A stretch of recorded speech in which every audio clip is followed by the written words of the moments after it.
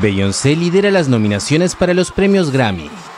La artista aspira a 11 gramófonos con su innovador álbum Cowboy Carter, que reavivó el debate sobre el género y el papel de los afroestadounidenses en la historia de la música country. Beyoncé, que se convirtió en la primera artista negra en encabezar las listas de country de Billboard, ya era la artista más galardonada en la historia de los Grammy, pero nunca ha ganado en las principales categorías. Esta vez se enfrenta a la dura competencia de artistas como Taylor Swift y Billie Eilish, con 6 y 7 nominaciones respectivamente. En las principales categorías también están nuevas figuras del pop como Charlie XCX con 7 nominaciones y Sabrina Carpenter y Chappelle Roan, ambas con 6. Una novedad de esta edición es la nominación para The Beatles.